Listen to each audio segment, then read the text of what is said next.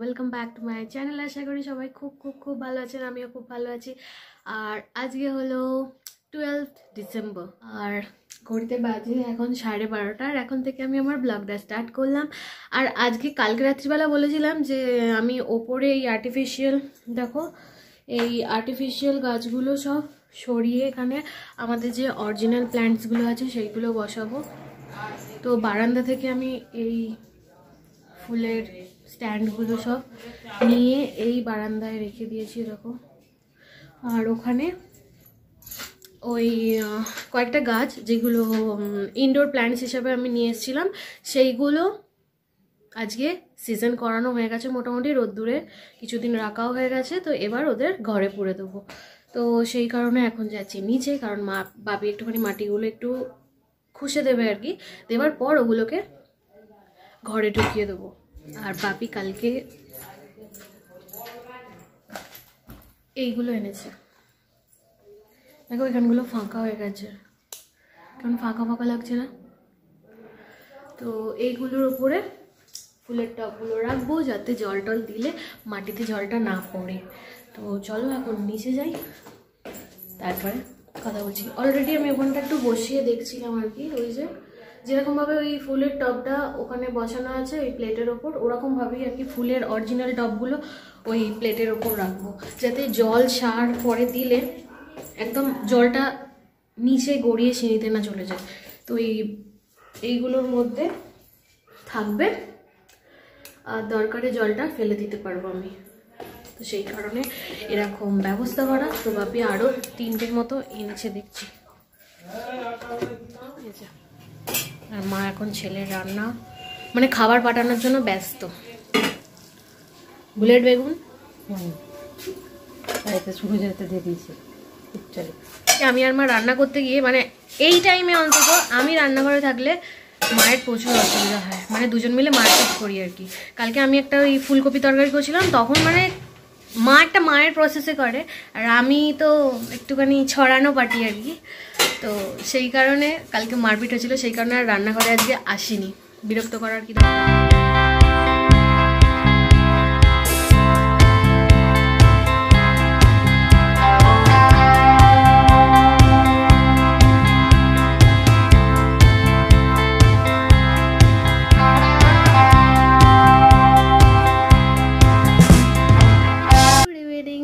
এখন বাজে ঘড়িতে সাড়ে পাঁচটা প্রায়। আর তখন ওই টপ ফপ তুলতে গিয়ে আমার কোমরে একটুখানি লেগে গেছিল। তারপরে আর ভিডিওটা কন্টিনিউ করতে পারিনি।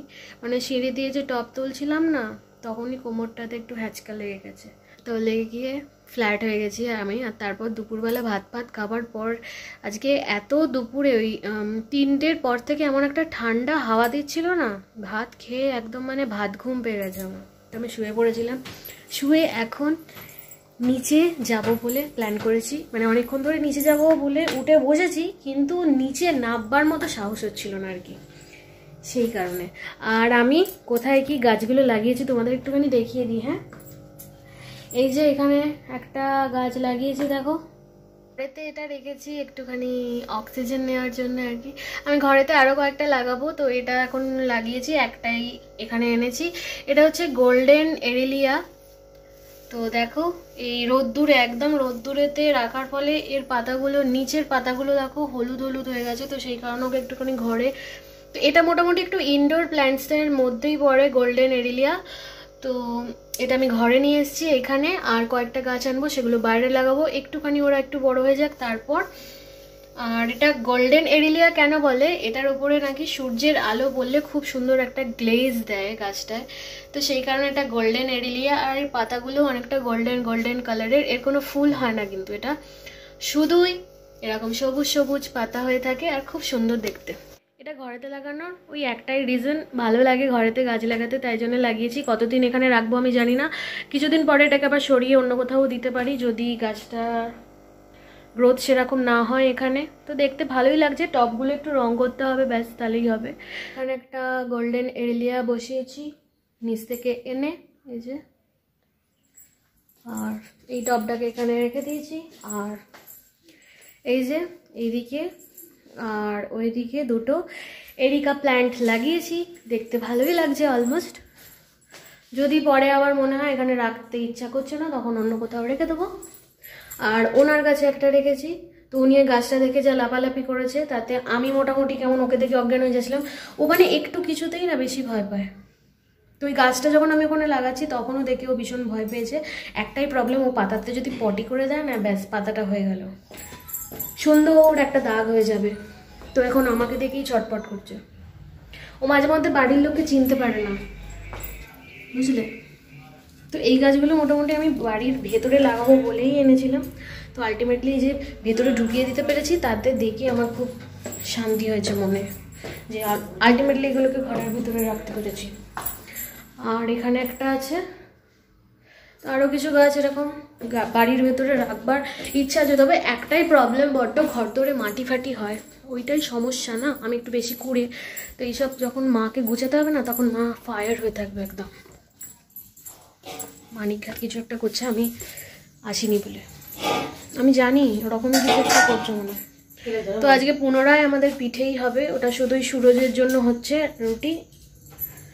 আমাদের নারকল পিঠে হবে তার জন্য মা নারকোল কেটে রেখে দিয়েছে আর আমি এসব না করে ওপরে গিয়ে শুয়ে পড়েছি।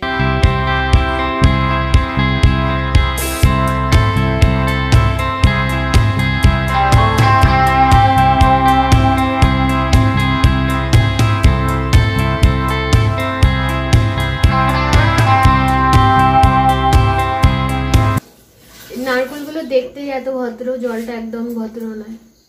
সত্যি বলতে আমি নারকোল ফাটাই, শুধু জলটা খাব বলে। কিন্তু আমার কপালে আজকে জল লেখা নেই।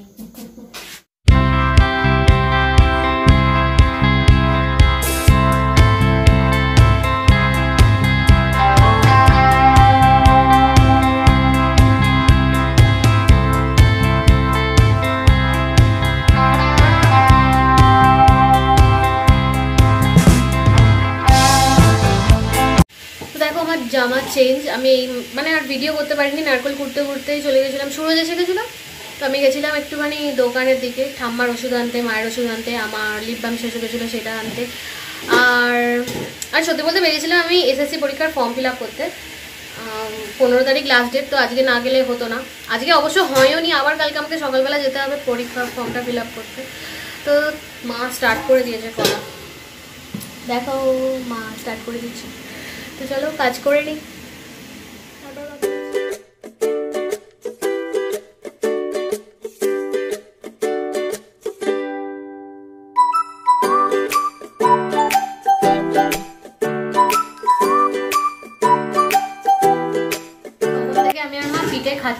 খাইনি আমি খাচ্ছি। মানে পিঠে খাচ্ছি আর করছি তোমাদের আর দেখানো হচ্ছে না। দাঁড়াও দেখাবো। আগে এটা কমপ্লিট করে নি তারপর। আর বাপি এইমাত্র এসে মুড়ি খেলো খাওয়ার পরে আবার টপ করে একটা পিঠে খেয়ে চলে গেল। মানে আমাদের এতই সবাই পিঠে খেয়ে একমাত্র শুধু সুরজ বাদ দিয়ে বাকি সবাই পিঠে খেতে ভালোবাসে। সুরজ যে কেন এরকম প্রাণী কি জানি? সৌরভের পিঠে দিয়ে যাব আমরা। ভাই প্রচুর পিঠে খায়। সুরজকে খাওয়ানো যায় না। ওই একটাই এই যে নিয়ে গিয়ে খাওয়ালাম একটা মানে একটাই। ও আর পিঠে খাবে না। এটা তো কোনোদিন গরমে আজকে প্রথমবার হচ্ছে। এমনি তো করি আমি আগের বারে ভুলে গেছিলাম যে পিঠে জল দিতে হয় যতবার ভাঙছি ভেঙে যাচ্ছে। জল দিয়ে নামাই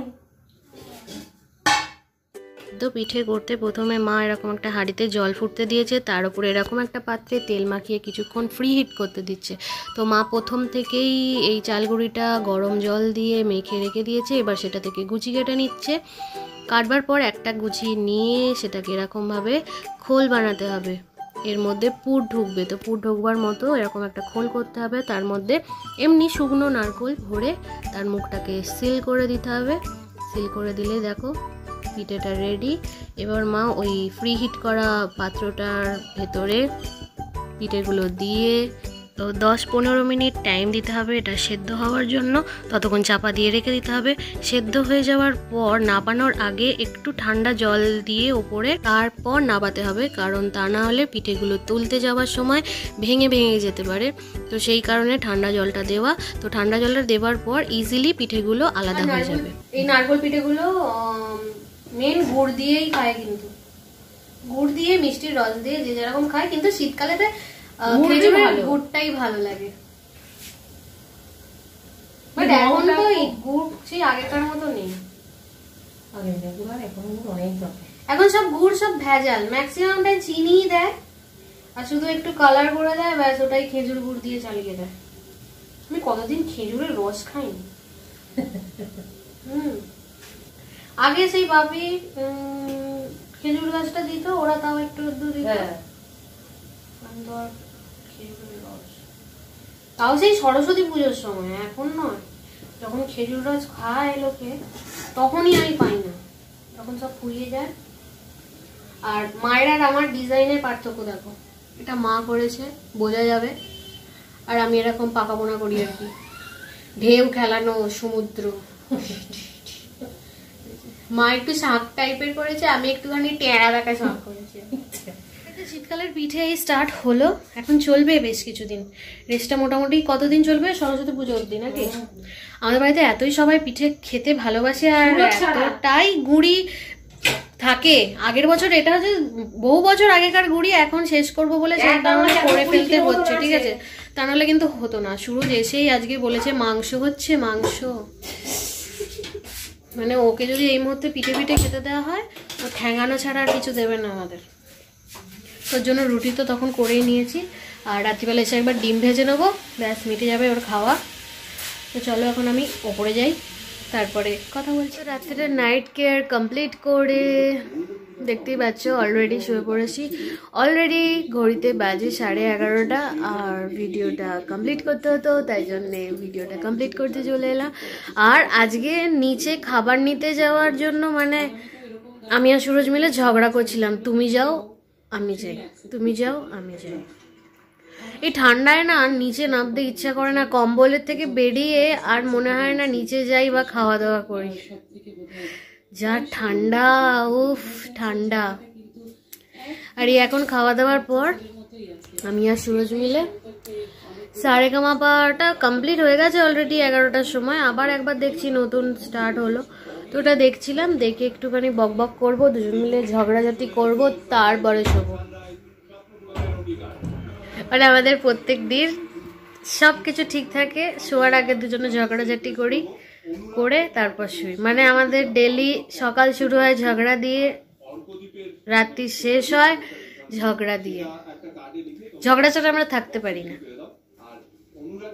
তাই না? তো চলো আজকে আর ঠান্ডায় বকতে পারছি না। সবাই খুব খুব খুব ভালো থেকো, সুস্থ থেকো। আর অবশ্যই আমার চ্যানেলটাকে সাবস্ক্রাইব করো, কারণ তোমাদের সাবস্ক্রাইব আমার চ্যানেলটাকে আরও গ্রো করতে হেল্প করবে। আর যদি আমার চ্যানেলটা ভালো লাগে, আমার কোনো ভিডিও তোমাদের ভালো লাগে, তো প্লিজ কমেন্ট করো, তাহলে আমি বুঝতে পারব যে তোমরা আমার ভিডিও দেখছ কি আমার ভিডিও তোমাদের ভালো লাগছে। তো চলো টাটা গুড নাইট